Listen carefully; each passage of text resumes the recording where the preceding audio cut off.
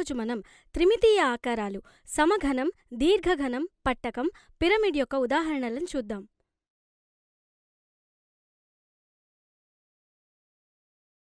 కింద ఇచ్చిన ఘనాకృతుల్లో ప్రతి ఒక్కదాని త్రిమితీయ ఆకారాల్ని త్రీడీ షేప్స్ని గుర్తించండి. ఉదాహరణకి మీరు చూడొచ్చు ఒకటో ఆకృతి మరియు మూడుల ఆకారం దీర్ఘఘనం అనగా క్యూబాయిడ్ల ఆకారంలో ఉన్నాయి.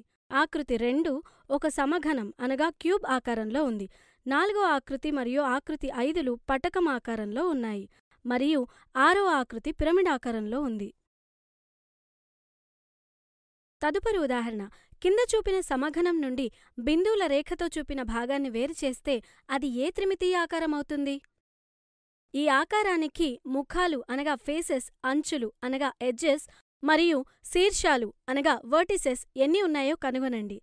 ఇచ్చిన సమఘనం క్యూబ్ నుండి బిందువుల రేఖతో చూపిన భాగాన్ని వేరు చేస్తే అదిలా కనిపిస్తుంది. ఇక్కడ మనం చూస్తే అన్ని ముఖాలు త్రిభుజాకారం అనగా ట్రయాంగులర్గా ఉన్నాయి. కానీ ఏ రెండు ముఖాలు కూడా సర్వసమానంగా అనగా ఐడెంటికల్ మరియు సమాంతరంగా అనగా ప్యారలల్గా లేవు. అంటే ఈ ఆకారం పట్టకం అనగా ప్రిజం కాదు. మనం ఏదైనా ఓ త్రిభుజాకార ముఖాన్ని భూమి అనగా బేస్ అనుకుంటే మిగిలిన అన్ని ముఖాలు త్రిభుజాకారంగా ఉన్నాయి కాబట్టి ఇదొక పిరమిడ్ అవుతుందని మనం చెప్పొచ్చు. ఎందుకంటే భూమి ఒక త్రిభుజాకార ముఖం కాబట్టి ఈ పిరమిడ్ని మనం త్రిభుజాకార పిరమిడ్ అనగా ట్రయాంగులర్ పిరమిడ్ అంటాము. రండి ఈ త్రిభుజాకార పిరమిడ్లో ఎన్ని ముఖాలు అంచులు మరియు శీర్షాలున్నాయో తెలుసుకుందాం. త్రిమితీయ ఆకారం యొక్క ప్రతి పైచదును ప్రాంతాన్ని ముఖం అంటారని మీకు గుర్తుండే ఉంటుంది. ఉదాహరణకి మీరు చూడొచ్చు. ఈ ఆకృతిలో మొత్తం నాలుగు ముఖాలు ఉన్నాయి ఇది మొదటిది ఇది రెండవది ఇది మూడవది మరియు ఇది నాలుగవది. ఇప్పుడు అంచుల్ని గుర్తిద్దాం. త్రిమితీయ ఆకారంలో అంచు అని దేన్నంటారో మీరు చెప్పగలరా? ఆలోచించండి ఆలోచించండి. సరిగ్గా చెప్పారు. త్రిమితీయ ఆకారం యొక్క రెండు ముఖాలు ఎక్కడ కలుస్తాయో ఆ స్థానం వద్ద ఏర్పడే రేఖాఖండాన్ని త్రిమితీయ ఆకారం యొక్క అంచు అని అంటారు. ఉదాహరణకి మీరు చూడొచ్చు ఇక్కడ మొత్తం ఆరు అంచులున్నాయి. రండి ఇప్పుడు ఈ ఆకారంలో ఎన్ని శీర్షాలున్నాయో తెలుసుకుందాం. మూడు అంచులు ఏ బిందువు వద్దైతే కలుస్తాయో దాన్ని త్రిమితీయ ఆకారం యొక్క శీర్షం అని అంటారు. ఇక్కడ మొత్తం నాలుగు శీర్షాలున్నాయి అని మీరు చూడొచ్చు. తదుపరి ఉదాహరణ కింద ఇచ్చిన ఎల్ ఆకారాన్ని చూసి దీనిలో ఎన్ని ముఖాలు అంచులు మరియు శీర్షాలున్నాయో కనుగొనండి.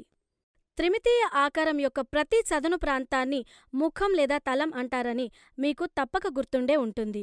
ఈ ఆకృతిలో ఒకటి రెండు మూడు నాలుగు ఐదు ఆరు ఏడు మరియు ఎనిమిది అంటే మొత్తం ఎనిమిది ముఖాలు ఉన్నాయి అంచుల గురించి మాట్లాడుకుంటే ఇక్కడ ఒకటి రెండు మూడు నాలుగు ఐదు ఆరు ఏడు ఎనిమిది తొమ్మిది పది పదకొండు పన్నెండు పదమూడు పద్నాలుగు పదిహేను పదహారు పదిహేడు మరియు పద్దెనిమిది. అంటే మొత్తం పద్దెనిమిది అంచులు ఉన్నాయి శీర్షాల గురించి మాట్లాడుకుంటే ఇక్కడ ఒకటి రెండు మూడు నాలుగు ఐదు ఆరు ఏడు ఎనిమిది తొమ్మిది పది పదకొండు పన్నెండు.